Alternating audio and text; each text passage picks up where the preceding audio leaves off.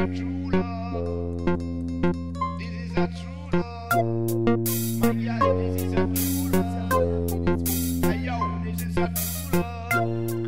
Leute, heute geht es mal um emotionale Entgiftung, ja, um Reinigung des Körpers und auch was einhergeht mit einer Ernährungsumstellung oft oder mit körperlicher Bewegung. Diese emotionale Entgiftung, diese Ängste, die hochkommen, Emotionen, die rauskommen.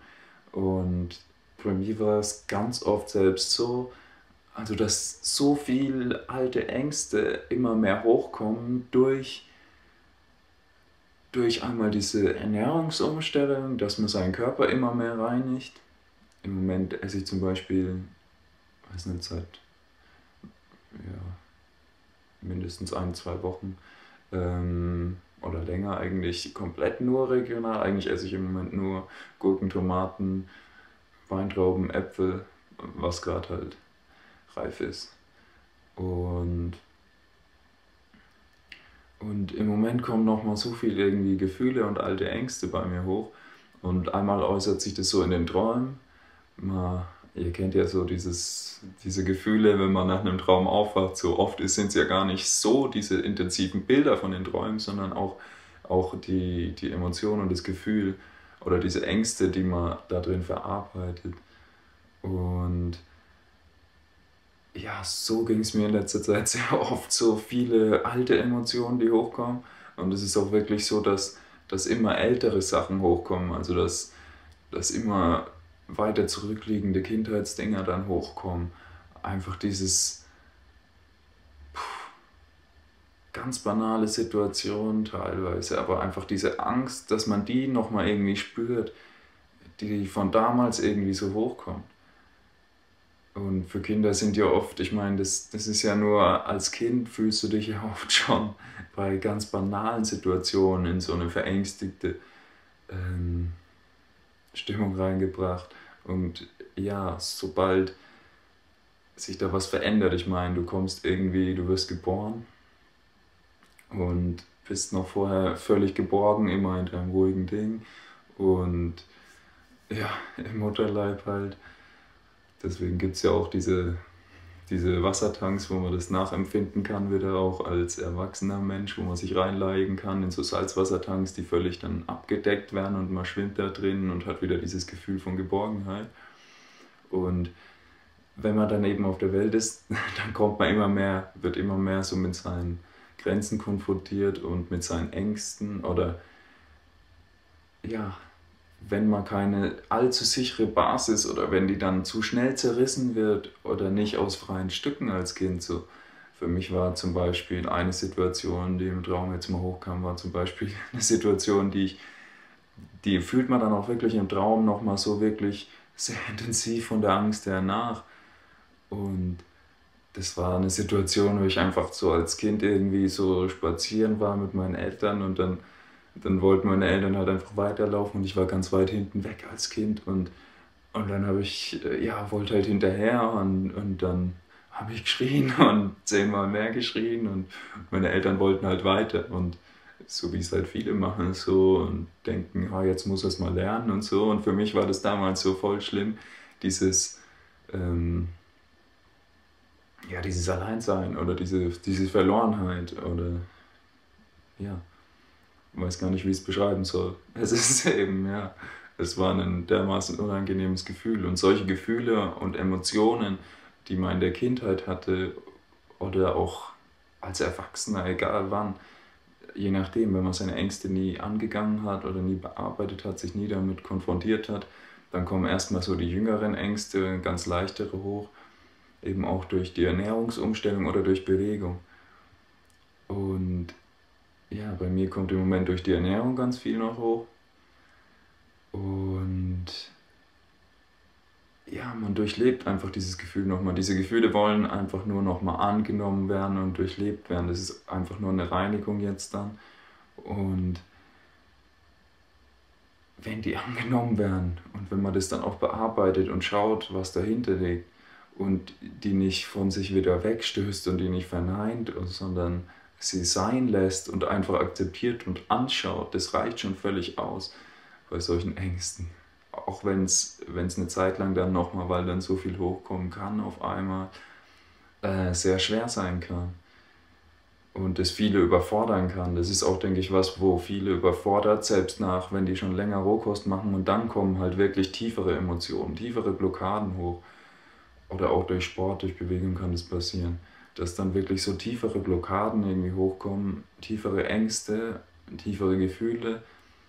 Und dann schwanken die Leute auch oft zurück und essen wieder was Schlechteres oder so, damit der Körper erstmal nicht mit dieser Heilung wieder konfrontiert ist und blocken da wieder ab, gehen da wieder kompensieren das halt mit Essen, mit Drogen, Wein oder egal was oder sonstigen Dingen, Fernsehen. Und ja, wenn man diese Emotionen aber dann wirklich anschaut und annimmt und dann lösen die sich auf und man kommt an immer tiefere Emotionen und dann geht es auch wirklich so, dass man, bei mir ist es auch mittlerweile so, dass wirklich immer ältere Sachen, an die konnte ich mich gar nicht mehr erinnern und die werden jetzt auch immer realer. Und was heißt realer? Man es ist schwer zu beschreiben, man durchlebt die halt wirklich und in Träumen oder einfach in Situationen, wenn die in Gedanken dann aufkommen wieder und an die hat man sich vorher schon so lange gar nicht mehr wirklich erinnert und jetzt fühlt man das nochmal wirklich. Man befindet sich nochmal, man kann sich wirklich richtig in diese Situation reinversetzen und nimmt nochmal wahr, was man überhaupt damals so gefühlt hat und nicht annehmen konnte und nicht ähm, nicht verarbeiten können, konnte, noch nicht bereit dazu war und noch nicht genug Kraft hatte und da eine Blockade gegangen ist und es von sich wegschieben wollte. So. Und ja, mittlerweile kommen bei mir sehr alte Sachen dann hoch und noch tiefere Ängste und irgendwie, ja, es kann halt dann eben schwer werden, je nachdem, wie viel immer auf einmal kommt und vielleicht wirkt es von außen dann sehr, ähm, wie soll ich sagen, sehr unsicher oder so, aber das sind eben diese alten Ängste und die wollen einfach eine Zeit lang nochmal angeschaut und, und wahrgenommen werden und, und ja, angenommen eben.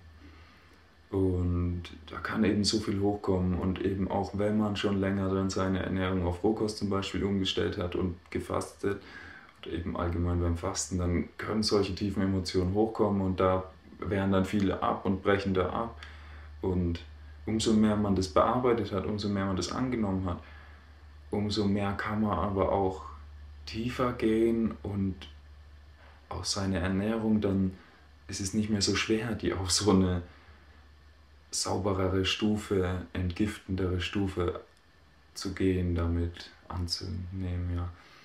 Und ja,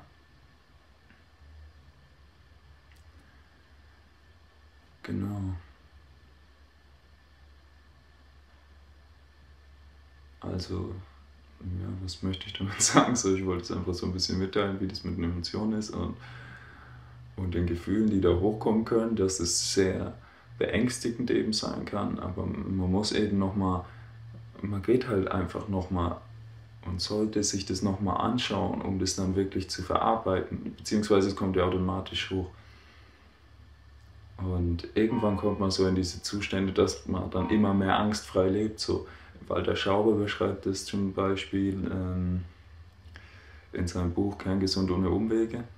Walter Schauber heißt er. Ähm, und der sagt auch, also der ernährt sich dann am Ende nur noch von, also im Moment von Paradieskost nennt er es, also nur ursprüngliche Beerenfrüchte, Stachelbeeren, Heidelbeeren, Brombeeren, Blaubeeren, ja, und ja, Erdbeeren, alles Mögliche, Maulbeeren. Und der isst nur eine Portion am Tag und der sagt auch, wenn er sich von diesen Früchten ernährt, so, dann, dann hat er gar keine Ängste. Auch seine Kinder, die sind komplett angstfrei einfach.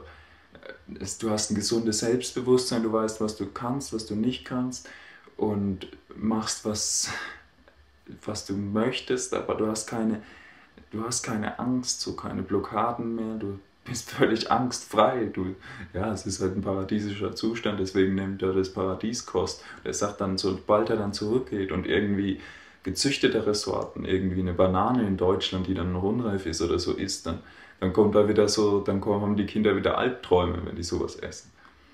Und ja, genau. Und dann kommen auch wieder Angstzustände eben, ja. Genau. Das war's mal soweit für heute. Ich hoffe, das hat euch ein bisschen geholfen, einfach das mitzuteilen und dass ihr vielleicht selbst wisst, was dann bei euch auch los sein kann, was da alles hochkommen kann und dass das eben ja nicht schlimm ist. Man sollte es einfach anschauen, annehmen und wenn ein bisschen einfach das Ganze langsamer angehen, nicht so viel Sport machen. Das ist zum Beispiel auch was in Bewegung, sind eben einfach Emotionen gespeichert. Es gibt zum Beispiel wissenschaftliche Studien oder in diesem, ich habe das in dem Buch gelesen, ähm, die neue Wissenschaft der Medizin. Irgendwas, die neue Medizin des Bewusstseins, genau die neue Medizin des Bewusstseins von ähm, Church Dawson.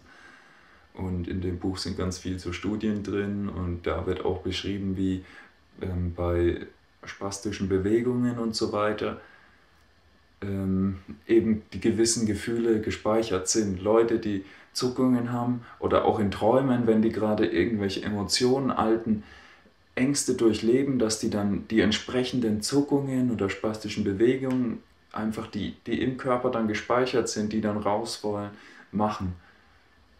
Genau.